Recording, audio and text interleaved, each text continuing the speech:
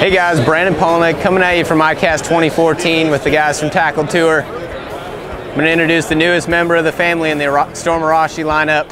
It's the new Storm Arashi Wake Crank. As you can see, it's got the same premium high-end finishes in the rest of the lineup.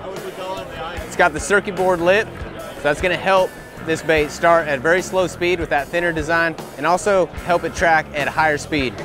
If you look underneath the bait, We've got the same rotated hook hangers. That allows you to add one whole size of VMC trebles larger on this bait. So when those fish, they wanna come up, slap at the bait, they're not really eating the bait as well, that one size larger is gonna help those fish get a hold of that bait and help out with your hookup percentage.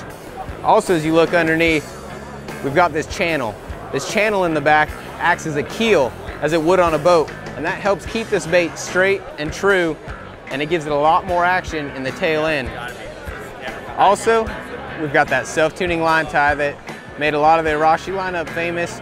Straight out of the package, this bait's gonna run true every time, no matter what. And so you're able to fish this bait at a lot of different variable speeds. You can fish it very slow and fish it very fast without this bait wanting to blow out or roll over. When you look at this bait, you're thinking, I haven't seen that color yet in the Storm Arashi lineup. Well, that's because we introduced four new colors. This is one of the new ones. This is the Pro Blue color. We've also got a black back chartreuse, a green gold shad, and we've also got Ghost Hitch. So make sure you guys check out those four new colors and the new Storm Arashi Wake Crank.